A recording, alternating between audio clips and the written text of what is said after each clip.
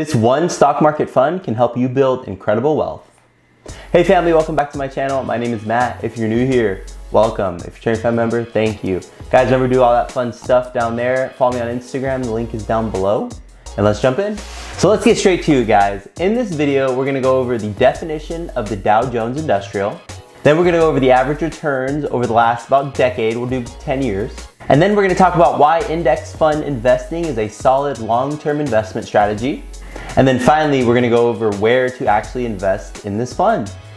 Disclaimer guys, this is not investment advice. This is for entertainment and educational purposes only. So first things first, let's go over the definition of what the Dow Jones Industrial really is. The Dow Jones Industrial Average, also known as the Dow 30, is a stock market index that tracks 30 large publicly owned blue chip companies trading on the New York Stock Exchange and NASDAQ. The Dow Jones is named after Charles Dow, who created the index in 1896 along with his business partner, Edward Jones. In English, Matt.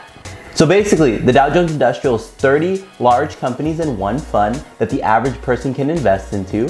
It's a very stable investment over a long period of time. A blue chip stock is a large company that does well in good times and bad times and is considered a safe, less risky investment over something that's more volatile like a new startup or a tech firm. Therefore, you know that the company's gonna do good in good times and the company's gonna do good in bad times. So it's very stable.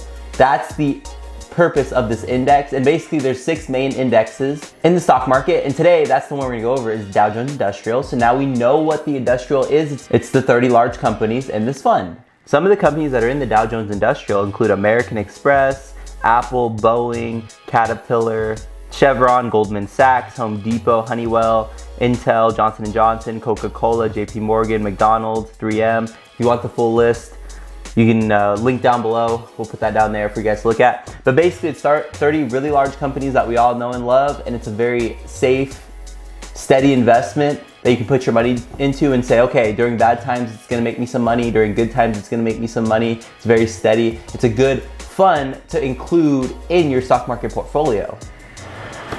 All right guys, so we have the rates of return of the Dow Jones Industrial here. We have the year, the average close, the year open, the year high, the year low, the year close the annual percent change.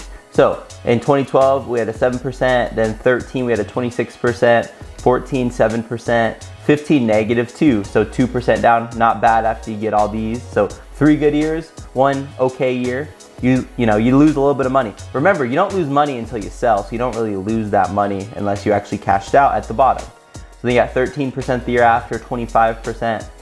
You have a negative 5 in 2018, 2019 was 22%. 2020 was 7%, 2021, 18%, very nice. 2022, we had a negative three so far. We haven't finished the year, so we'll kind of see how that rides out. we'll do more videos about the overall stock market in 2022, see how that's done, all that fun stuff. But yeah, guys, I mean, very steady, very good fun. Like I said, these are the returns from the last 10 years. So it's good to look at them, good to kind of know what we're looking at and to say, okay, you know, 18%, 7%, 22%, very good returns on our money. So yeah, that's kind of the uh, overall 10-year return of the Dow Jones Industrial. So we went over the definition of the Dow Jones Industrial, we went over the average rate of return. Now we're gonna go over why index funds are a good investment strategy. Why is index fund investing a good strategy over long term? So basically the indexes have always been solid. We went over the S&P 500 a couple videos ago. Now we're going over the Dow Jones Industrial. They're same, they're just groups of different stocks, different companies that uh, make up the actual stock market is kind of the averages. And like I said, they're good, solid investments because over time they're gonna make money, they're gonna go up. As we saw with the S&P 500, similar, the Dow Jones Industrial also has good rates of return.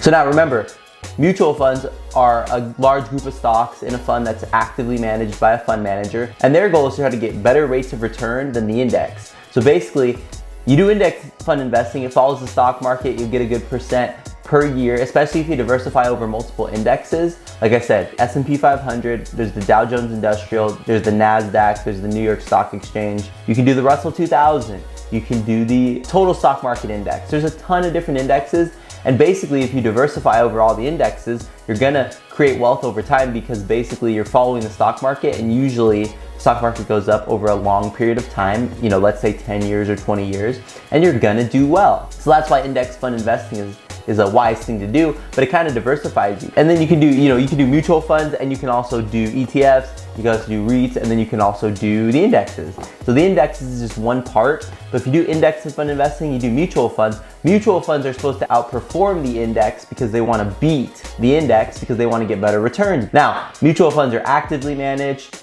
The indexes are passively managed. They just follow the stock market. Actively managed basically means there's a fund manager actually doing something and and uh, looking over it and making different moves inside the fund and make, making sure that you know you have the best chance of making money. For the index just follows the stock market on a daily and yearly basis. It's good to have index funds in your portfolio and it's good to have mutual funds because they kind of balance each other out. And remember, the more funds that you use makes you more diversified. If you had two or three funds, you know, that's plenty. Even if you had four, if you had two mutual funds and two index funds, you know, you're in a really good spot because basically you're diversifying and you're gonna build wealth and make money over time. Maybe in the short term you might lose a little bit, but when you're playing the long-term game in the stock market, you're bound to win. But that's why index funds are a good way to go because they diversify you. You can do mutual funds and index funds. But like I said, even if you just did index funds, you did the S&P 500 or the Dow Jones, those are two steady funds that will make you money over time. If you just invested in those two, that's a great mix, small mix, just two of them, of uh, funds that will create wealth over time for you.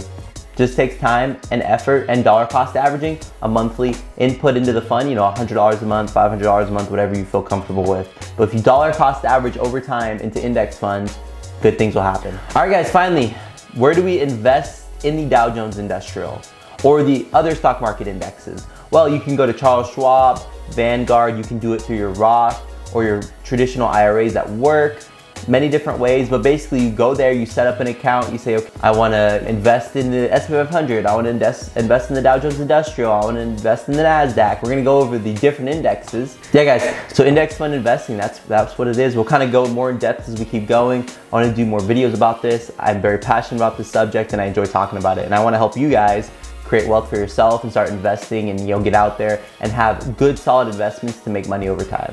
All right guys, that's all for today's video. Remember to continually work to become the best version of yourself. See you guys in the next one.